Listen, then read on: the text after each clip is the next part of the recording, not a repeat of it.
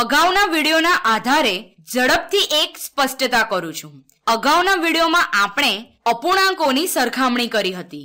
ઉદાહરણ તરીકે, ચાર સપ્તમાંશની ત્રણ સપ્તમાંશ સાથે સરખામણી કરી હતી. અને આપણે જોયું હતું કે સ્પષ્ટપણે કોઈ પૂર્ણનો ચાર સપ્તમાંશ ભાગ એ પૂર્ણના ત્રણ સપ્તમાંશ ભાગ કરતા મોટો અપૂર્ણાંક છે. પણ જો આપણો એ પૂર્ણ જ મોટો હોય તો જો આ મોટી પૂર્ણ આકૃતિનો ત્રણ સપ્તમાંશ ભાગ લઈએ તો ત્રણ સપ્તમાંશ ભાગ આ પ્રમાણે દેખાશે. જુઓ, આ એક, આ બે અને આ ત્રણ સપ્તમાંશ. આમ, ત્રણ સપ્તમાંશ એ આ આકૃતિના ચાર સપ્તમાંશ ભાગ કરતા પણ મોટો ભાગ હોય એવું દેખાય છે. તો આપણે કયા પૂર્ણ ભાગનો અપૂર્ણાંક લઈએ છીએ તે બાબત મહત્વની છે કે નહીં? તો જવાબ છે, હા, તે બાબત મહત્વની છે. તો જ્યારે આપણે અપૂર્ણાંકોની સરખામણી કરીએ, ત્યારે એમ માની લેવું કે કોઈ એક જ પૂર્ણના બે અપૂર્ણાંકની વાત કરી રહ્યા છીએ.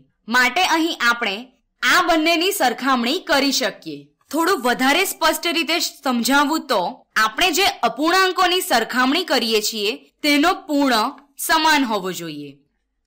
સમાન પૂર્ણ, એટલે કે સેમ હોલ તમે ઉંદરના ચાર સપ્તમાંશ ભાગને હાથીના ત્રણ સપ્તમાંશ ભાગ સાથે સરખાવી શકો નહીં. એ બંને અલગ અલગ બાબતો છે. તમે તેની સરખામણી કરી શકો નહીં. તમે ઉંદરના ચાર સપ્તમાંશ ભાગને તે જ ઉંદરના અથવા સમાન કદના ઉંદરના ત્રણ સપ્તમાંશ ભાગ સાથે સરખાવી શકો. તમે સમાન સરખામણી કરી શકો. જ્યારે આપણે અપૂર્ણાંકની વાત કરીએ, ત્યારે આપણે આપમેળે જ સંખ્યા રેખામાં જઈએ.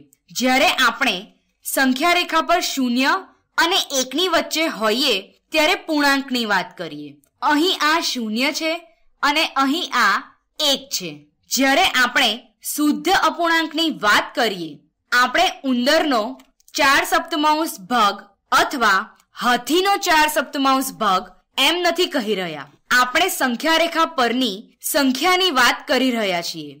હવે આપણે તેને સાત ભાગમાં વિભાજિત કરીશું. તે એક સપ્તમાંશ, બે સપ્તમાંશ, ત્રણ સપ્તમાંશ, ચાર, પાંચ, છ અથવા એક.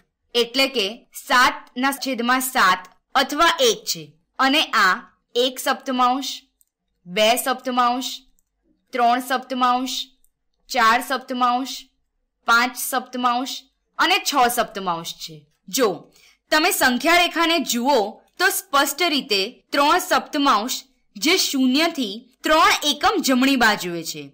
સાતમાંથી ત્રણ ભાગ જમણી બાજુ. એક, બે અને ત્રણ. ત્રણ સપ્તમાંશ અહીં છે. જ્યારે ચાર સપ્તમાંશ એ મોટી સંખ્યા છે. એ ત્રણ સપ્તમાંશની જમણી બાજુએ છે. તમારે ચાર એકમ જમણી બાજુ ખસવું પડે.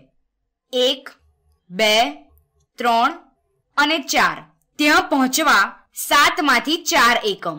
એટલે તમે આ સમાન પૂર્ણાંક, એટલે કે સેમ હોલના અપૂર્ણાંકને જોઈને સરખામણી કરી શકો. અહીં પૂર્ણાંક એ સંખ્યા રેખા પર શૂન્ય અને એકની વચ્ચે છે.